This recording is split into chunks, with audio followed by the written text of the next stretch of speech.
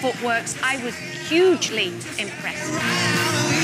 You need to be a little bit more up on your toes, but it was packed full of fantastic rhythm. You can dance. It's Chris and Dianne. Uh, Chris, we'll talk about your brilliant jive in just a minute, but I want to clear up some confusion because on Monday's show, Toyah said that you were the one to beat, but some people misunderstood what she said. I just want to check you and Toyah are all good, right? We're all good. I had to be told about it because I didn't watch it. I mean, the last thing I need is more Strictly, so I don't watch it. Um, so, but but I mean, I can't believe I've got a comment on it. To be honest, she's been nothing but lovely. She, I mean, she genuinely said to me when she went out and we all cuddled on the dance floor. She went, "You're gonna win this," and like, so she's lovely. Her intention is gorgeous. She's insane for thinking that. Let's not let her off for that. but but it's, it's it's madness in it, you know. Yeah. It's, I mean, tomorrow the headline will be Chris McCausland thinks Toyah Willcox is insane. um, Yeah, but it's good to hear that you're all right, isn't it? And uh, you don't watch It Takes Two, so thanks for that. Oh, all right, no. uh, Chris, back to last Saturday though. You always look like you're having the best time on the dance floor when you come out and do your numbers. You were a huge Wayne's World fan. What was it like for you on Saturday night?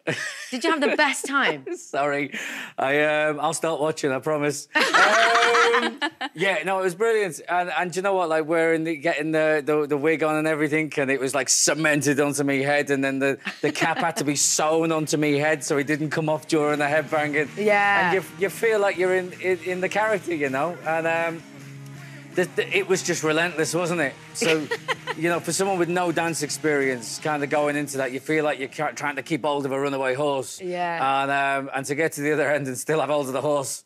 Um, you're not the horse. I'm just saying. Just clarifying, yeah. The, the dance is the horse, but um, it- yeah, it was a relief, you know. Oh my gosh, it was exhausting. But Dianne, Motsi picked up on Chris's timing and coordination. How much did you work on that throughout the week in training? Uh, we have to work a lot on timing and coordination. Um, however, Chris has such a good musical ear, so I play to those strengths, and that's why I put lots of little fancy footwork in there and stuff like that because it is a strength of his, and we want to show them off, don't we, Chris? Show your little musical ear off. But huh? where do you think that comes from, Chris, your musicality? Because Craig commented on it as well, Yeah. actually. I mean, I love music. I think I think most stand-up comedians they just want to be rock stars that don't have any talent to play an instrument.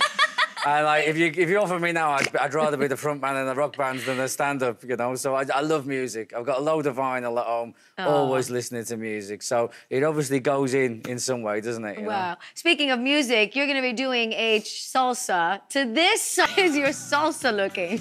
I wish I could have more enthusiasm for this song, but I've listened to it non-stop for four days. um, the salsa. I mean, look, I, was open for a little bit of a step back uh, in energy uh, from the jive, and the salsa has not been that. It has been intense. It's it's got more lifts in it than Canary Wharf.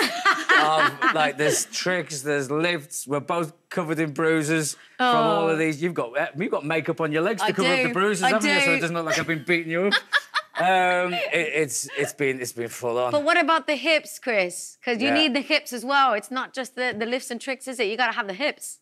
me me hips don't do what they're meant to do. I try and move the hips. I either I'm either not moving the hips properly or I move the hips and my shoulders get involved. And she's like, Your shoulders aren't allowed to have any fun. yeah.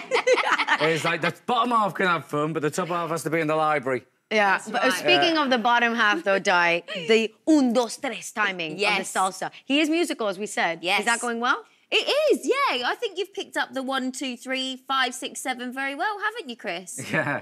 And that's all we're saying though during the whole thing. One, two, three. A one, two, three. A one, two, three. Yeah. I mean, that's what they say about me. He's a man who can count to three. Yeah. Oh, nice. well, we've actually got a little bit of a WhatsApp that's coming. I try to say to you, "Are you all right, Chris?" I don't get much out of him. I just get a little, uh, uh, "I'm all right, Di."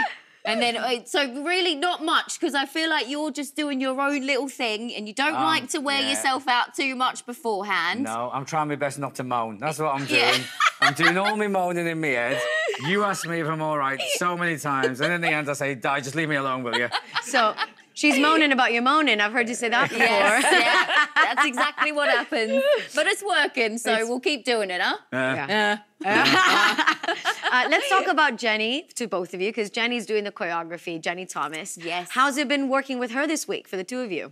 It's been great, hasn't it? We um uh, obviously we've I've worked together with Jenny to create this because I want um Chris to feel as comfortable as possible, and yeah, we've we've done really well. We've Yeah, she is the really, really good with the celebrities, She's Jenny. so and all the stuff that she brings to the table is brilliant. But listen, good luck with your salsa on Saturday night. Let's hear it for Chris and you. Dianne. It for tonight. Thanks to all of my guests. Fleur will be here tomorrow with Punam and Gorka talking about the response to their couple's choice. And Wynne and Katya will tell us about that Mrs. Doubtfire transformation. Plus, it's Friday panel time. Who do they think will be going home this weekend? Find out tomorrow.